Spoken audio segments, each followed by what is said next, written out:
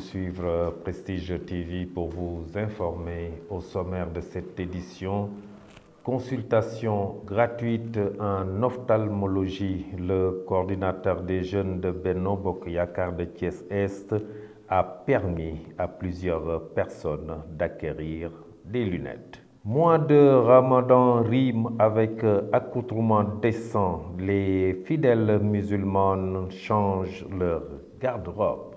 Et puis, Assemblée générale tenue à l'INEFJA de Thiès, une section sénégalaise des sports pour déficients visuels est installée. L'objectif est d'obtenir le soutien de l'État dans les compétitions internationales.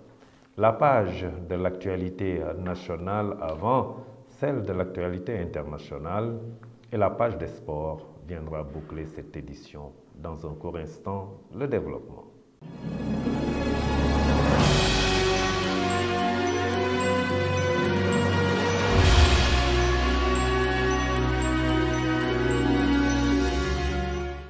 Mesdames, Mademoiselles, Messieurs, bonsoir et bienvenue dans ce journal que nous ouvrons avec le point Covid du jour. En ce mercredi 6 avril 2022, le ministère de la Santé et de l'Action sociale a fait le point ci-après. Sur 1003 tests réalisés, 7 nouveaux cas sont revenus positifs au coronavirus, dont 5 cas issus de la transmission communautaire un cas importé et un cas contact suivi. Neuf patients hospitalisés ont été contrôlés négatifs et déclarés guéris. Aucun cas grave n'est pris en charge dans les services de réanimation des hôpitaux. Aucun cas de décès n'a été enregistré hier mardi 5 avril 2022. Les cas continuent de baisser, mais continuons à rester vigilants et continuons à respecter les mesures barrières. Je vous le disais euh, tout de suite dans le sommaire, euh, journée médicale de consultation euh, gratuite en ophtalmologie suivie de dons de lunettes à l'école Ker Abdoulaye Yahin dans la commune de Thiès-Est une initiative du coordinateur des jeunes de Beno Bokoyakar qui a permis à plusieurs personnes d'acquérir des lunettes sans bourse déliée. Cher Ndoye, que je vous propose de suivre, il nous fait ici l'économie de ces journées de consultation gratuite. Parce que nous nous sommes dit qu'avant d'être acteurs politiques, nous souhaitons être des acteurs sociaux et être au chevet de nos populations. C'est pour cela que nous avons jugé nécessaire et conscient aujourd'hui de la mission qui pèse sur nos épaules d'aller auprès des populations, de s'enquérir de leurs besoins et d'y amener des solutions. Nous avons jugé nécessaire en partenariat avec notre jeune frère de l'Uneterie Fadiloula, qui aussi est membre de la mouvance présidentielle, d'organiser cette journée parce que nous avons constaté aujourd'hui que les Sénégalais ont des problèmes à ce, à ce niveau côté ophtalmologique. Beaucoup de Sénégalais ont des problèmes et malheureusement, pour certains d'entre eux, la quasi-totalité n'ont pas les moyens pour aller à l'hôpital, se faire consulter, encore moins pouvoir acheter les médicaments, les ordonnances qui leur sont prescrites. Aujourd'hui, l'objectif visé était de 300 personnes, mais vous l'avez constaté vous-même que nous sommes débordés. Au moins, il y a un millier de personnes qui est en attente. Et sur ce, nous avons encore passé une commande qui va venir. Nous avons aussi parlé avec les docteurs de faire euh, preuve de sacrifice pour euh, rallonger un peu, un peu l'heure.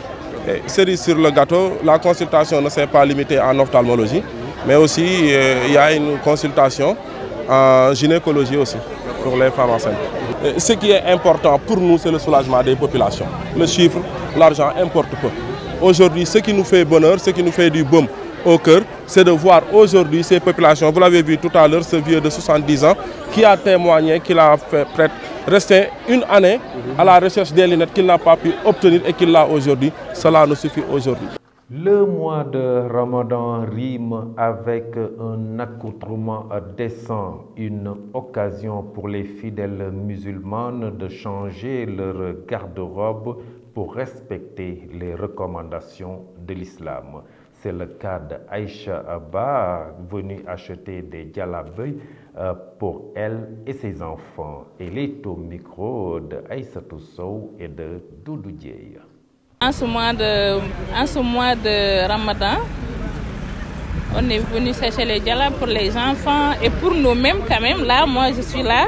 J'ai trouvé une bonne pour moi, pour prier et pour les enfants parce que de temps à autre, tu, les enfants aiment beaucoup des, des habits euh, sexy. Donc, en ce mois-là, c'est le mois de béni Ramadan, donc on les insiste de porter ces habits-là pour, pour, pouvoir prier. Euh, c'est l'islam qui le demande, donc on les respecte. Et en bref, nous parlons des législatives 2022. Yewi Askanui a choisi sa tête de liste majoritaire. Il ne s'agit pas de Khalifa Sall, né de Ousmane Sonko. C'est le quotidien Source A qui donne l'information dans son édition de ce mercredi. Mbouch sera en deuxième position sur la liste majoritaire de Yewi, juste derrière Ousmane Sonko. Le quotidien Source A informe en outre que Khalifa Sall sera investi sur les listes Yewi malgré les doutes qui pèsent sur son éligibilité. Et puis, euh, je vous le disais euh, dans le sommaire, installation à l'INEFJA à l'issue d'une assemblée générale constitutive de la section sénégalaise des sports pour déficients visuels. C'était en présence des autorités locales de la commune de Thiès-Nord qui abrite l'Institut national d'éducation et de formation des jeunes aveugles. Raphaël Dupont-Faye, 9e adjoint euh, au maire, est au micro de Prestige TV. Je vous propose de le suivre. Notre présence aujourd'hui à l'INEFJA, c'est sous l'invitation de la communauté chargée de sport de l'INEFJA que nous sommes là présents pour représenter M. Birom Soleil Diop. Euh, vous savez, euh, la mairie de Zone Nord euh, prend en charge et en considération toute la population qui réside au niveau de la, de la zone nord. Et que INEFJA fait partie des de structures de la zone nord et plus particulièrement de euh, Medina. Donc euh, c'est ça qui a motivé notre présence ici, euh, avec sous l'invitation du président chargé de, de, des affaires sportives de l'INEFJA. la mairie de Zone n'a pas de parti prise concernant le sport. Le sport, c'est une affaire de jeunes. Le sport, c'est une affaire citoyenne. Le sport aussi fait nourrir notre communauté. C'est la raison pour laquelle, en tous les cas, M. Birom Souley Diop, lui, il est prêt à accompagner les structures sportives. Et INEFJA, s'il en a euh, une structure sportive, mais M. Birom Soleil, de, tout cœur, avec euh, abnégation, il est prêt à les accompagner.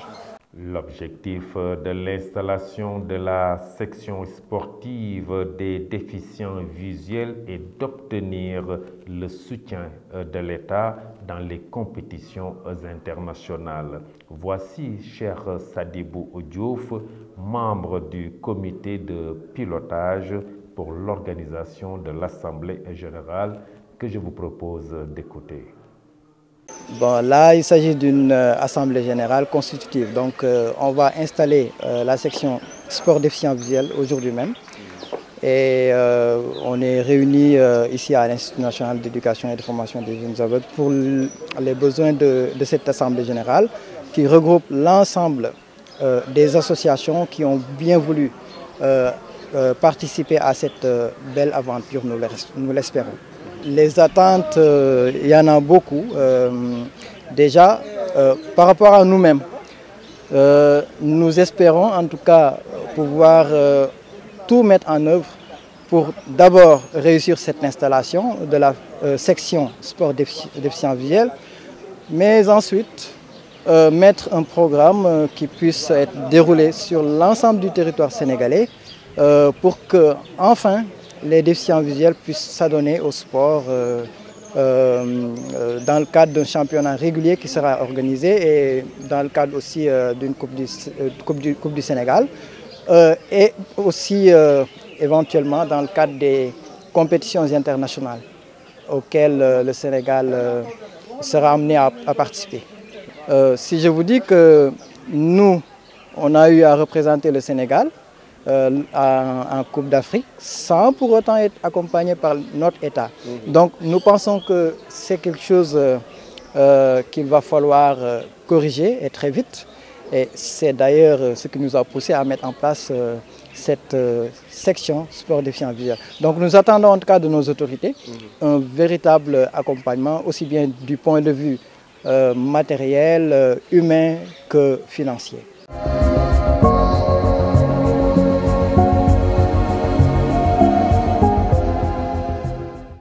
La page de l'actualité nationale vers une assemblée nationale de 165 à 172 députés.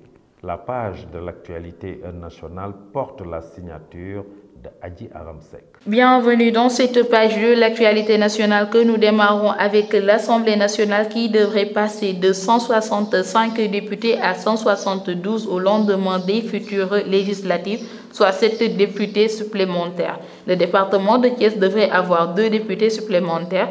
Bourg aussi en aura deux de plus. Un siège sera affecté à Bunkiling, Medina Yoro aussi en aura un. Et Kermassar sera doté de deux sièges de députés. Par contre, Pékin en aura un de moins à l'Assemblée nationale. Restons toujours à l'Assemblée nationale avec les députés qui adoptent une loi pour accorder un nouveau statut aux réfugiés et apatrides. C'est le ministre de la Justice qui était devant les députés pour défendre ce projet de loi. L'Assemblée nationale a adopté ce mardi le projet de loi 21-2021 portant statut des réfugiés et apatrides, lequel vise à garantir à tout réfugié et à tout apatride une protection juridique et sociale efficace. Maître Malik Sall a également souligné que le projet de loi prévoit la mise en place d'un organisme administratif chargé d'assurer avec efficience la protection juridique et administrative des réfugiés et des apatrides. Terminons cette page de l'actualité nationale avec le secrétaire général du ministère de l'économie, du plan et de la coopération, l'ambassadrice de l'Union européenne Irène Mingasso, et l'ambassadeur de Belgique Hubert Rosin ont présidé le lancement officiel du programme Active Invest ce mardi 5 avril 2022. Ce, pour donner de la force, soutenir et accompagner les PME en développement ou en phase de croissance pour qu'ils atteignent une indépendance financière. Ce projet a été financé par l'Union européenne à une hauteur de 720 millions d'euros, plus de 470 millions de francs CFA. C'était tout pour l'actualité nationale de ce mercredi 6 mars 2022.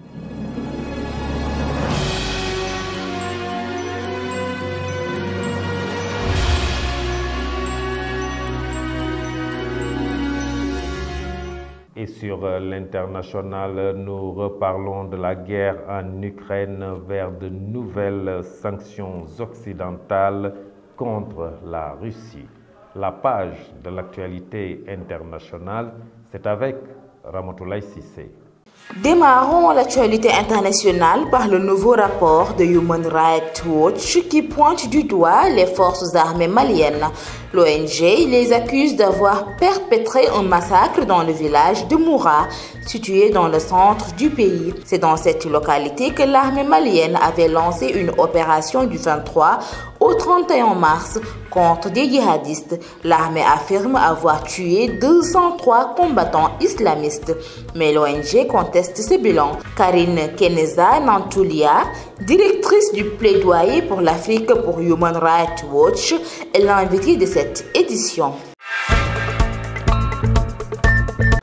Burkina Faso, une religieuse de nationalité américaine a été enlevée dans la nuit du 4 au 5 avril 2022 au nord-ouest du pays, précisément dans la localité de Yalgo. La sœur Suélène Tennyson a plus de 80 ans. Son enlèvement, qui n'a pas été pour le moment revendiqué, a été mené par des hommes armés entre minuit et 1 heure du matin. La découverte de nombreux corps de civils dans la ville de Boutcha, près de 200 diplomates russes ont été expulsés d'Europe ces 48 heures et les puissances occidentales, États-Unis en coordination avec l'Union européenne et le G7, s'apprêtent à imposer de nouvelles sanctions à la Russie. Les États-Unis ont annoncé mardi débloquer une aide sécuritaire supplémentaire à l'Ukraine allant jusqu'à 100 millions de dollars pour faire face à l'invasion russe. Mesdames et messieurs, c'en est tout pour l'actualité internationale.